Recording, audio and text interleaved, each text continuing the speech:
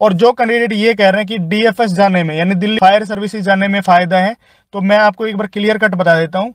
जो कैंडिडेट मेरे को ये कह रहे थे कि डीएफएस में जाके धरना प्रदर्शन करना है। देखिए, कभी भी अगर आपको धरना देना है, आंदोलन करना है, कुछ भी करना है, वो हमेशा एजेंसी पे होता है।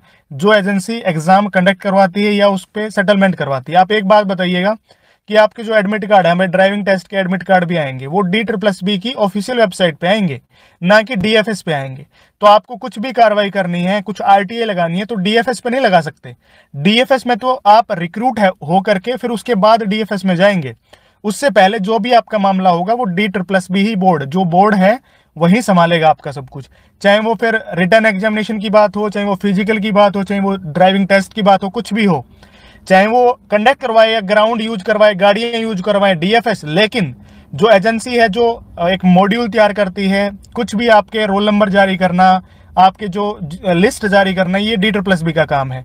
तो आपको धरना प्रदर्शन करना है, कुछ भी करना है तो आप डी प्लस बी बोर्ड पे ही जाके कीजिएगा, ठीक है?